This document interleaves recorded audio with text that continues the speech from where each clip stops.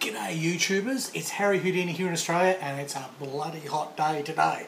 I think it must be up in the 90s and it's uh, my afternoon after I finish my daily work but it's still stinking and I've got the fan on in the background, that's that noise you can hear probably and uh, it's too bloody hot for painting. It's too hot to use CA glue which is what I need to do with some photo etch. I've got nothing left to glue because my kits are all assembled waiting painting and weathering and I've got some photo etch to put on. So I thought, I really just want to cut and glue something, well, cement something with some plastic glue. And I've got this present from Ennis. So, before I start chopping it up and building it, which I'm going to thoroughly enjoy from all bloody accounts that I've seen online, because tons of people have done reviews on this, and it's a rip snorter. But I'll go through the kit and I'll show you what's in the box, because I'm excited to open this and I'd like to share it with you. Alrighty, let's have a look at this kit then, okay? Now it's from Trumpeter, which is one of my uh, favourite uh, favourite makes, because usually they go together like a dream. At least all the ones I've built. And um, the detail's good, and there's not much flash or rubbish, and you just basically, they fall together. My, my Graf Spee, boom, it just fell together. It was so easy. Um, the other Trumpeter things I've had, the uh, SU-152, so easy. Trumpeter, I have found, in my experience, to be well researched, well made. Instructions, you can just follow them. It's not like a Dragon kit where it's, oh god, you got to check every step of the way. It's not like a Tamiya kit where it's it's nicely detailed, it's beautiful, but there's not a lot of parts. It's, you know, Trumpeter seems to me to be a good compromise. Not as complicated as Dragon, not as simple as Tamiya, although I know there are some good Tamiya kits out there. I'm just yet to build them. But for me, I've really enjoyed the Trumpeter kits that I've built. So let's see if this one is the same. So, um, what's the box got? Beautiful box art, right? Really love that. And um, did a bit of research myself online and managed to watch a few YouTube clips. And there's some footage of these actual these suckers running around in the snow. They they really do look interesting. So um, let's uh, well, let's see what else is in the box. Not much, you know, usual sort of stuff. Trumpeter doesn't really put much on the sides. There's just a few picks and a few things, and they kind of show off their, their PE there, and, you know, and there's just a, a bit of blurb. So who cares? And the bottom of them is invariably white, which is really good if you watch my lighting video, because you can use it to reflect. Anyhow, enough of that. Let's, let's get into the box. Let's get to the good stuff. So, in the box, um, let's look at the instructions. And one of the first things that pops out, which I really like about Trumpeter, is you get this really nice, and all of them have got this, coloured paint guide, right? None of this, everything's in blue and shades and you've got to figure it all out. You can see the colours, there they are. Having said that though, they kind of made a few mistakes down here. They've actually used the wrong colour code for um, what colours things are, but it doesn't really matter because in the in the um, the artwork there, you can clearly see what needs to be done. And there's not a lot to this one anyway. Alright, so that's the colour chart. Instructions, typical trumpeter instructions. They're clear, they're concise, and they're easy to read. At least I think so. You, um, every kit I've built comes with a sprue map. Alright? And all the parts are on there. They're all numbered. It's it's all there ready to go. It's lovely. Alright? It's um it's nothing. Now, there's not much to this. There's only about half a dozen frets and uh, a bit of PE, you know, some decals. Not much to it. There are figures though. We'll get to that in a sec. Now, instructions. Again, another reason I like Trumpeter. They're clear. They're easy to follow. And if it's anything like the other kits I've built, you can do exactly what they say in the order that they say, and it will go together. And although it is handy to look ahead, like with any kit, you look ahead and see if there's any traps. I generally don't find them with Trumpeter, at least with the kits I've built. So I'm looking forward to this one. I reckon it'll be just as easy. There's not much to it. Build the engine, bang, that's done. You know, then I can go and paint it. Build the hull, bang, that's done. Okay, and then I can basically paint the inside of it. Nice steps. In fact, they even recommend that. They've even got that in there. They say, at this stage, go on, paint the inside. See? Really nice. Nice logical order. So there you go. There's your motor, and they, you know, they've got it all worked out. And then your seats go in, all right. And then they're doing the dash and um, basically the windshield and, uh, and those sort of things. And again, it's a good order. It's it's logical. It makes sense. It's easy to follow. And then all the sub assemblies go in. And then you start on some of the external things here. You've got the um, basically the outriggers there, which the skis are going to go on.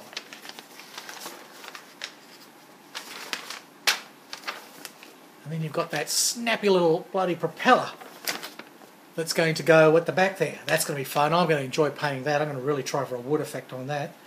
And um, following on some more of the um, the little structures around there, the um, guards to protect the, um, well, not protect the propeller, really protect people from getting hit by it. You know, these little uh, protection bars here. And then in goes the machine gun. And off to the side here, very clear and very easy to follow, is the instructions on how to fit the PE and how to build the machine gun. Okay, and then again, um, they've done the same thing here with the instructions for the skis. Easy, simple, and it all goes together in a nice logical order. I love these these kits.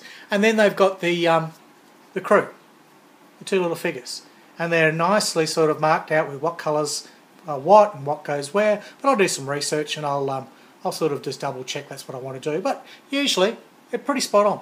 I've um, been really impressed with Trumpeter. So instructions don't look hard. It's a pretty simple kit, really. And again, Trumpeter makes it so easy. So let's have a look at some of the parts, shall we? Now, we'll start with this. This is two sprues. They're both identical, by the looks of things.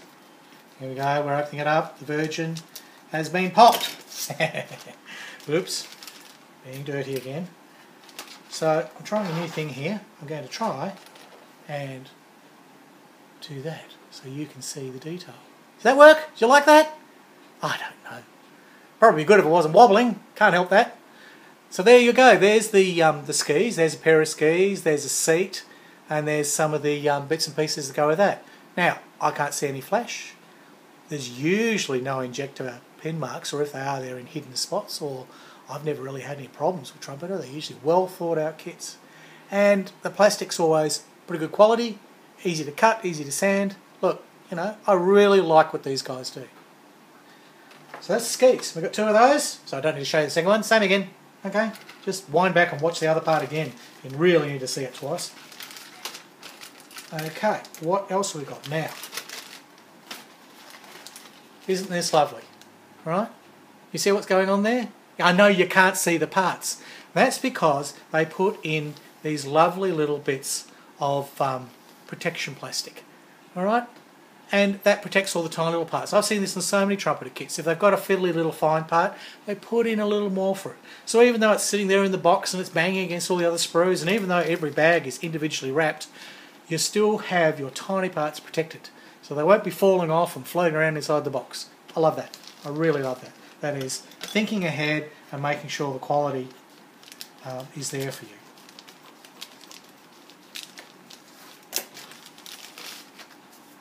Right, so we will gently peel that off because I'll put that back on to protect those parts while I build this. Because it's a good idea. So bear with me. I'm fumbling away here. It probably would have been easier just to cut that, wouldn't it? Yeah, we go. Ah, look, you know, it's been a hot day. It's been a hot day. So, whoa, here we go. There's lots of little widgets and fiddly things here. Let's see what I can show you. Let's see what I can show you. Okay, so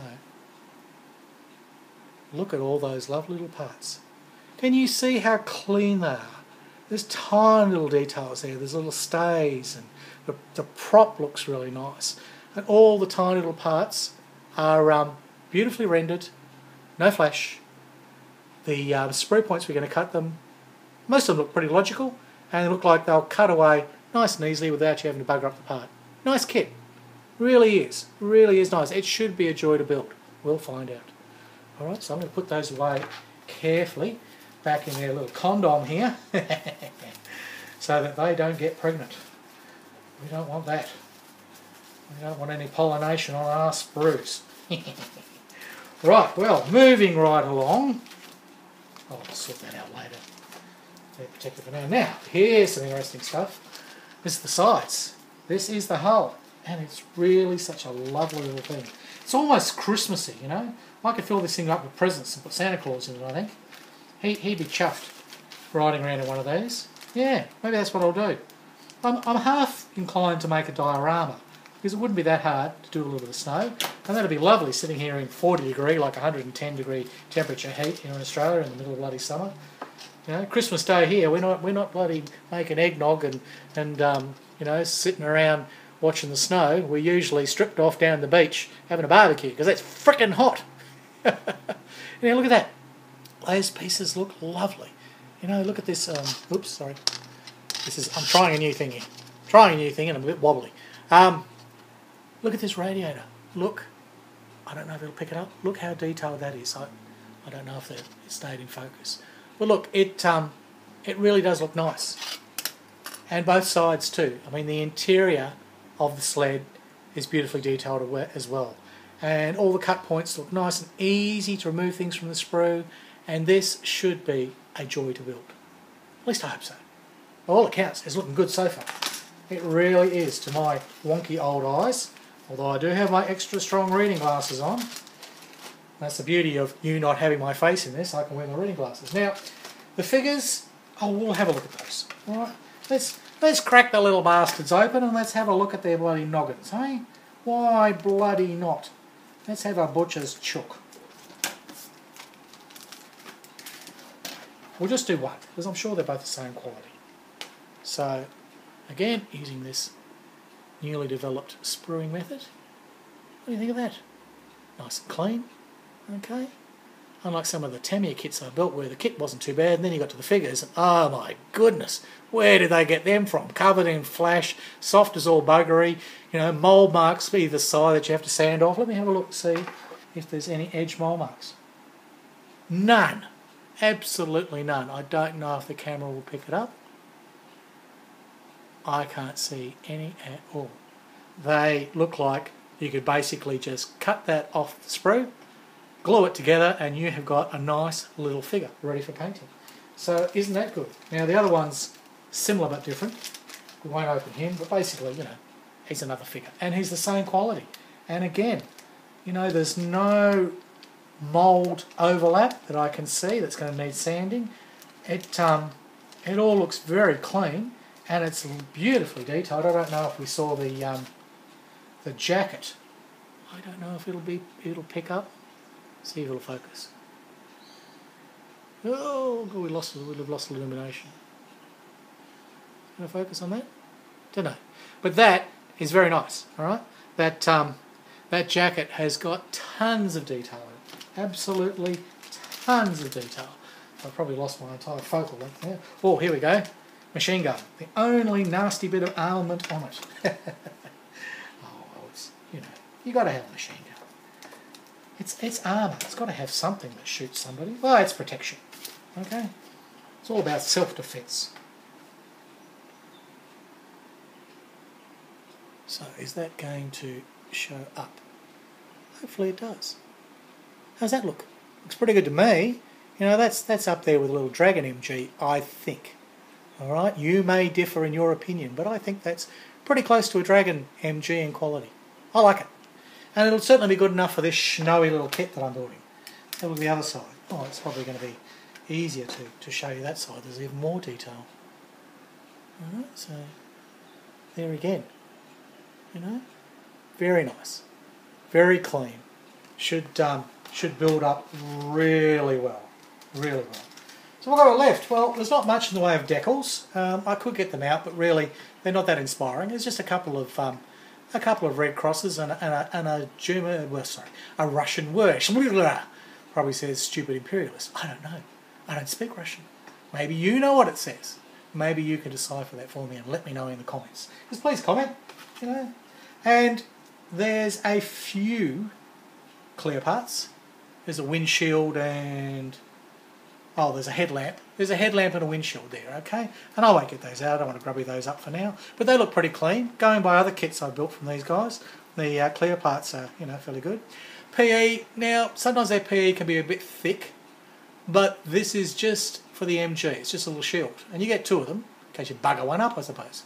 So um, I'm not going to worry too much about that. It, it probably is a little bit thick, but that might work nicely with the scale of the kit. Either way, it's just nice to have a little bit of PE, and I think sometimes they just they just put a bit in to kind of keep the quality up there and say, look, there's PE and there's kit, because then everyone goes, oh wow, it must be good.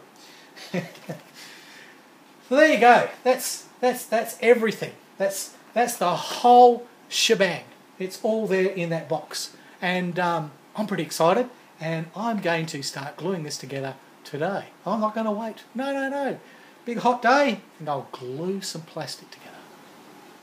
Well, what did you think of that? It's a great little kit, isn't it? It really is. It's so unusual, but it's so interesting, and it looks like it'll build together so easily. So, um, you guys just bugger off because I'm going to spend the rest of my afternoon gluing this sucker together. Um, I'll, I'll, videotape some of it, but um, basically, for now, that's it. So, piss off. Go and do what you've got to do. Go and build something, alrighty? Okay, it's goodbye from Australia, and it's hooroo from Harry Houdini. Thank you.